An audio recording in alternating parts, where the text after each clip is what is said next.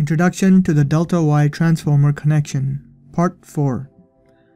In Part 3 of the series, we introduce line currents and phase currents for the delta-Y transformer connection. In Part 4, we'll explore the relationship between line current and phase current for the delta-Y connected transformer. We understand from Part 3 that primary phase A, B, and C currents flow through the polarity side of the primary windings.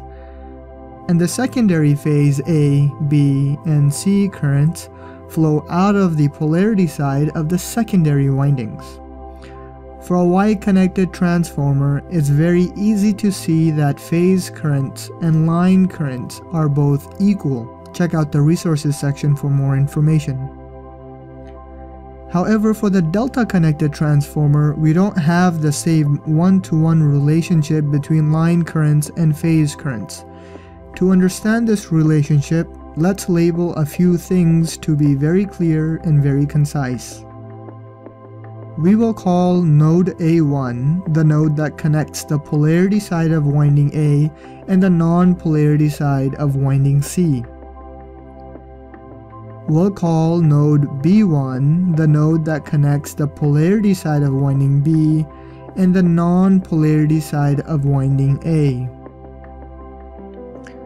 And lastly, we'll call node C1 the node that connects the polarity side of winding C and the non-polarity side of winding B. We know that from part 3 that primary phase A currents flow into the polarity side of winding A and out of the non-polarity side of winding A, which means that the current that flows out of node A1 by definition is phase A current. And since the non-polarity side of winding A is connected to the polarity side of winding B the current that goes into node B1 is the same phase A current. This makes visual sense, right? Since we define primary phase A current as a current that flows into the polarity side of winding A and out of the non-polarity side of winding A, the current that comes out of node A1 and the current that goes into node B1 is the same primary phase A current. Let's now move to phase B current. We know from part 3 that primary phase B current must flow into the polarity side of winding B and out of the non-polarity side of winding B, which means that the current that flows out of node B1 by definition is phase B current. And since the non-polarity side of winding B is connected to the polarity side of winding C, the current that goes into node C1 is the same phase B current. And lastly, let's move on to phase C current. We know from part 3 that phase C current must flow into the polarity side of winding C and out of the non-polarity side of winding C which means that the current that comes out of node C1 by definition is phase C current. And since the non-polarity side of winding C is connected to the polarity side of winding A, the current that goes into node A1 is the same phase C current. Okay, so now that we've illustrated phase currents, let's quickly label our line currents. From part 3, we know that line-to-line -line current A will flow through line A into the bushing of winding A and finally into node A1. Similarly, line-to-line -line current B will flow through line B into the bushing of winding B and into node B1. And lastly, line-to-line -line current C will flow through line C into the bushing of winding C and finally into node C1. Okay, so we know exactly what's going into each node and exactly what's coming out of each node.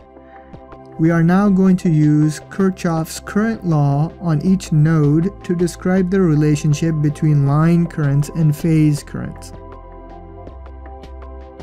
Let's start from node A1. We can visually verify that line current A flows into node A1. Phase current C also flows into node A1. However, phase current A flows out of node A1. So when we apply KCL or Kirchhoff's current law, we can simply express this relationship as line current A plus phase current C equals phase current A. Or in other words, line current A and phase current C goes into node A1, which is why it's on the left side of the equal sign. However, since phase current A flows out of node A1, it's on the right side of the equal sign. Simple, right?